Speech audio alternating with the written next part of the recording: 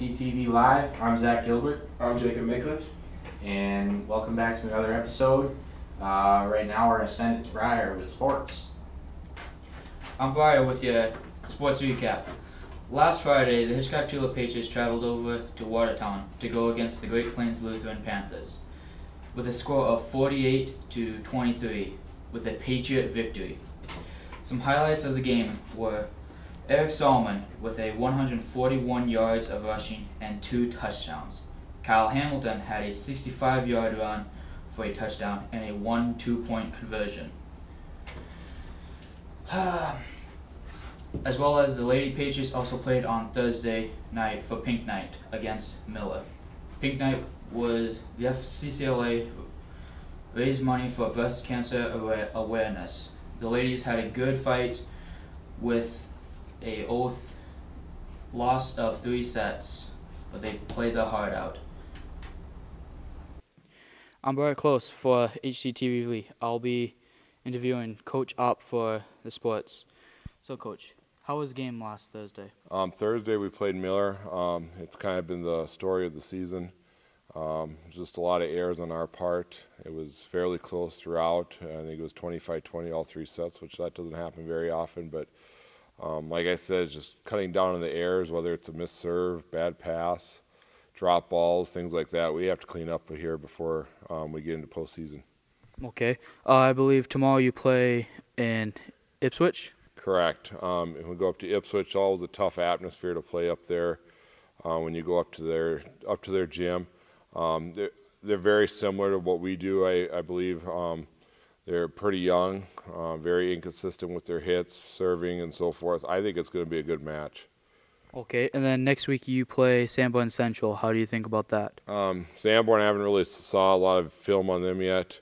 Um, obviously, it's a conference game, so I'd like to, to win that one. Um, it's the biggest thing at this point. We have to go in, clean up our errors, pass well, ball control, keep the ball under our, on our side of the net, and hopefully we'll be able to give them a pretty good match. And like I said, it's a conference game, and so we need to get back on the winning winning end here. With we only have uh, four matches to go, so Thank you, Coach. Good luck. Now with Coach Solomon. So, Coach, how was last week's game? Uh, you know, I was I wasn't real pleased with it in, in the sense we didn't come out real well, um, but we did stay in control the whole game and, and wasn't ever a concern of losing that game. It just we just didn't play as well as we could have. Okay. And then what about this week's game then? Uh, well, this week's game we're playing the top team in the state right now in 9B, and, and I'm excited for that. That's that's a challenge, and I look forward to challenges, and I think our team does too. And I think we'll come out and, and play really well, and and uh, we'll just see what happens on the scoreboard. Okay. What are your thoughts for the Hitchcock Tulare Patriots qualifying for playoffs for 31 times since 1985? You know, I think I think that's great. It just shows the talent that we have here in Hitchcock Tulare and over the years and continue to have. And uh, I look forward to not only making it to playoffs, but making it further into the playoffs than we have before. At least that I know of that we have before. All right. Thank you, Coach. Good luck.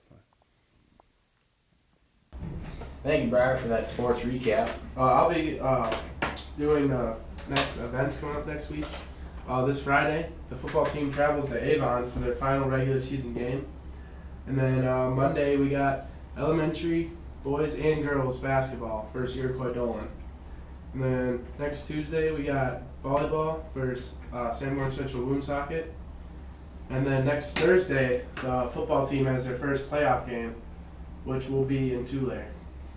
And that is the first time since 2012 that the Hitchcock Tulare football team has uh, hosted a first round playoff game. So that's pretty cool. Yep. All right, we'll send it to Raymond with the letter. Uh, I'm Raymond Cole. I'm uh, with HTTV, and uh, this is your seven day forecast. For Friday, there's a high of 54 and a low of 36, and a 4% chance of rain.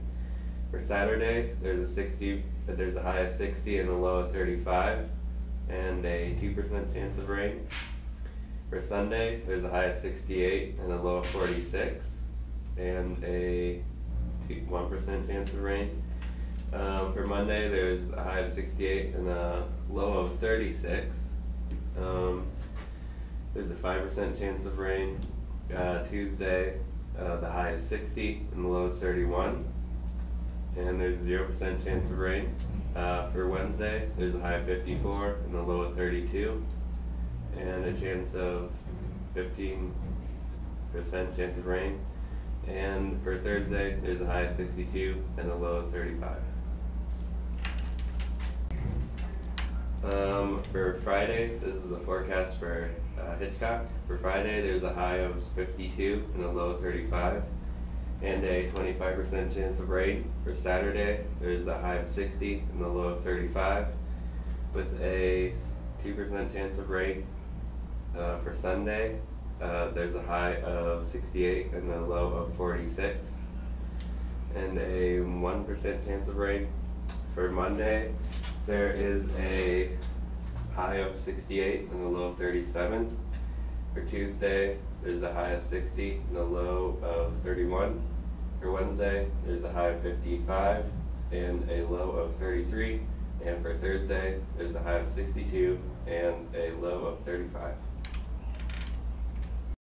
Uh, thank you, Raymond, for the weather. I got birthdays. I'd like to wish happy birthday to Jessica Godfrey, Jada Hofer, Cash Chaplin, Jordan Beckler, and that's it. Happy birthday. I'm Jacob Miklich. And I'm Zach Gilbert. Have a good one, Hitchcock. See you later.